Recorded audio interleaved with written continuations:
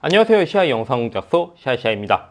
영상 촬영을 하다 보면 카메라에 작은 디스플레이가 아니라 좀 더 큰 화면에서 작업을 해야 될 때가 생기게 되는데요.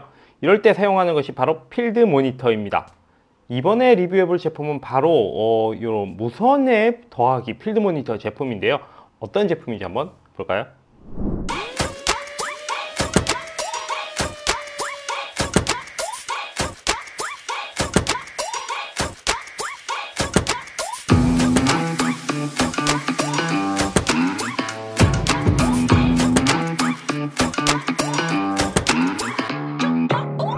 모니터는 상황에 따라서 어, 작은 것부터 7인치 혹은 더 큰 제품을 사용하기도 합니다.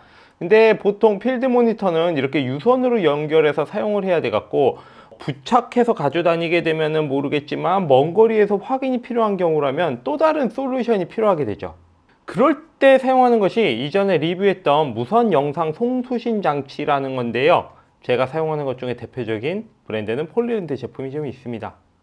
케이블을 길게 세팅하기 힘든 야외나 동선이 복잡한 강연장, 실내 뭐 이런 데서 사용하기 굉장히 좋은데요. 여러 대의 카메라 연결해 갖고 이제 멀티 카메라로 라이브 방송을 하기에도 굉장히 좋죠.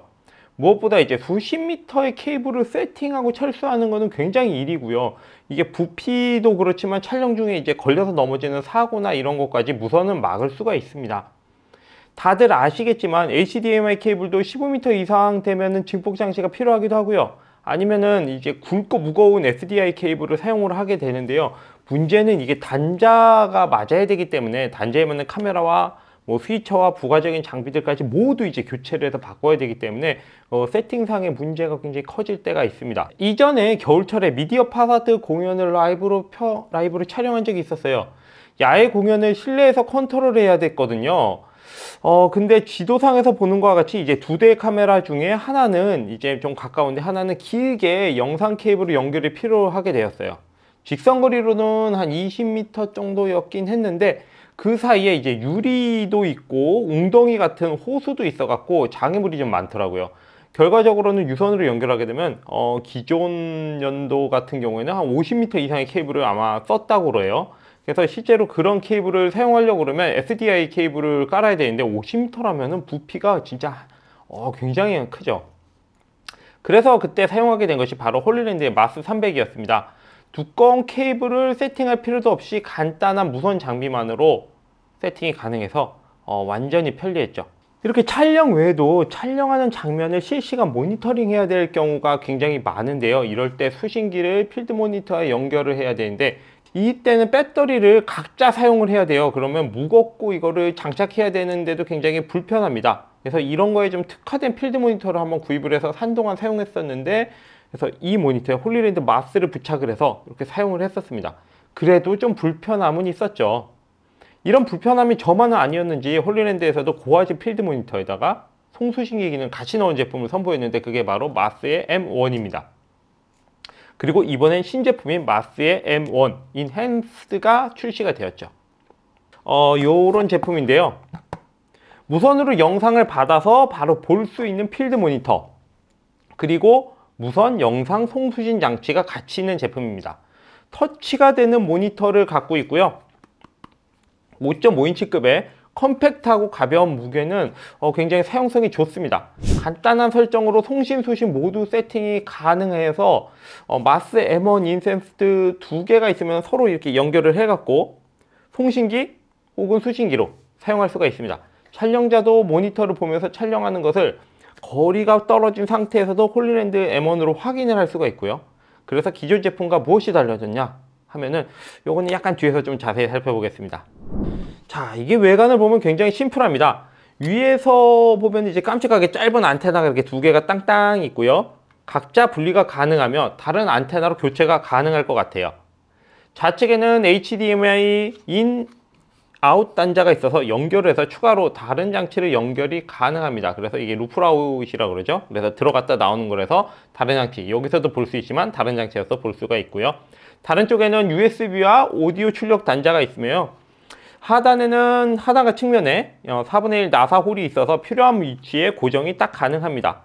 후면은 중앙에 F 배터리 홀더가 있고요. SDI in 단자가 있으며 DC in과 out 단자가 있어서 어, 여기서 빼갖고 카메라 등의 전원을 바로 공급을 할 수도 있게 되어 있습니다. 기본적으로 연결 방법은 아주 심플해요.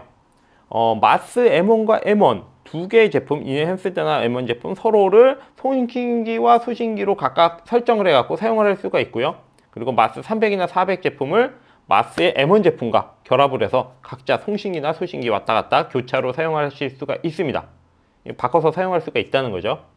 그리고 마스 M1만 있는 경우에도 충분히 사용할 수 있는데요. 바로 스마트폰이나 태블릿 같은 모바일 device에서 홀리뷰 앱이 홀리뷰 앱이죠. 홀리뷰 앱을 설치를 하면요. 와이파이 연결을 통해서 M1의 영상을 수신을 받을 수가 있어요. 뭐 거꾸로는 이 경우는 할 수는 없겠죠. 하지만 M1에서 바로 송신을 해갖고 스마트폰이나 device에서 받아볼 수가 있습니다. 동시에 4개까지 가능하다고 그래요. 아쉽게도 Mars X 제가 쓰고 있는 게 있는데 여기서는 아, 연결이 안 되는 것 같아요. 조금 아쉽네요. 요거는 기존의 Mars M1과 거의 동일하게 좋은 기능들이 대부분이지만 Mars 1 M1이죠 M1 M1 Enhanced 모델이 무엇이 더 업그레이드 되었냐 하면은 새로운 Holly OS를 탑재했다고 그래요. 그래서 UI 등이 굉장히 좀 달라졌고요. 기능이 많아졌습니다. 특히나 정확한 색 영역을 표현해주는 고사양 필드 모니터가 갖고 있는 그런 활용성들이 많아졌는데요 덕분에 1000니트나 되는 밝은 화, 그 화면에 좋은 화질의 모니터를 제대로 써먹을 수 있게 된 것 같아요. 실제 활용도를 본다면 기본적으로 5.5인치급으로서 굉장히 컴팩트한 필드 모니터로 사용이 가능하고요. 그리고 어디든 갖고 다니기도 굉장히 부, 음, 부담이 없고 부착하기도 가벼운 편입니다. 터치로 메뉴 조작이 되고 상당히 쓸만한 메뉴가 많이 이렇게 있죠. 보시면은 파형 히스토그램 vectorscope 및 하이라이트를 방지해주는 zebra 패턴을 보여주거나 manual focus peaking을 해주고 촬영 비율에 따른 영역을 디스플레이 해주는 거. 그리고 3D LUT을 입력해 주거나 지정해서 사용해 주는 거. 그리고 격자. 그리고 anamorphic 렌즈 사용을 위해서 어, preview를 해줄 수 있는 거. 그리고 상하 이미지를 flip해 주는 기능들이 있습니다. 또 제조 과정에서도 컬러 보정을 하고 있다고 하고요. 개인적으로도 RGB gain을 미세 조정해서 사용을 할 수 있기 때문에 원하는 색감으로 볼 수가 있죠. 이런 것들이 신제품에 조금 더 관심을 둘 만한 것 같아요 다만 이게 상하 회전 외에도 좌우로 뒤집는 flip 기능이 된다면은 좀 셀프 촬영이나 이렇게 셀프로 볼 때는 굉장히 도움이 될 것 같은데 어 요거 조금 아쉽긴 해요. 그리고 freeze 기능 같은 게 좀 있는 모니터들이 있는데 요게 있으면은 모니터링을 고정해서 할 수가 있기 때문에 어 요것도 굉장히 의외로 좋은데 어 약간 빠져 있는 기능이 아쉽긴 합니다. 근데 대신에 특이하게 모니터가 이게 메인 기능이긴 한데 녹화가 된다는 거예요. 어, 레코더가 아닌데 말이죠 그래서 메모리 넣는 부분이 없는데도 약 한 2분 가량을 녹화를 화면 녹화를 할 수가 있고요. 대신에 이제 영상을 빼내거나 할 수는 없습니다. 그래서 다시 녹화를 하거나 전원을 껐다 키면은 어, 다시 리셋되는 이런 어, 이런 기능입니다. 어, 그냥 모니터링 용도, 영상을 모니터링하는 용도인데 어, 잠깐 보여줄 수 있겠다. 뭐 그렇게 생각하시면 될 것 같은데요. 종종 유용합니다 이게. 또 HDMI 아웃 단자가 있으니까 외부로 레코더로 이게 연결을 해서 녹화를 한다면 빼낼 수는 분명히 있을 거예요. 하지만 뭐 굳이 그럴 필요까지 하는 생각이 드는데 저는 종종 카메라 리뷰, 모니 카메라에 나오는 거를 리뷰하는 경우가 있기 때문에 아 이거 잠깐이라도 되면 굉장히 유용할 것 같은데 요거 좀 업그레이드 해줬으면 좋을 것도 같아요. 스마트폰 메뉴의 UI는 거의 비슷한 것 같아요. M1을 이제 송신기로 세팅을 하고 스마트폰 앱으로 수신을 한다면 이렇게 HollyView 앱으로 받아볼 수 있는데요. 어, 굉장히 좋죠. 근데 이거는 음, 좌우 뒤집기 기능이 있네요. 필드 모니터가 필요할까 싶긴 하지만 한번 사용해 보면 그 편리함을 분명히 느끼게 될 것입니다. 특히나 무선 영상 송출신이 된다면 전문 영상 제작자가 아니라고 해도 크리에이터들에게도 정말 다양한 활용신이 있을 것 같아요.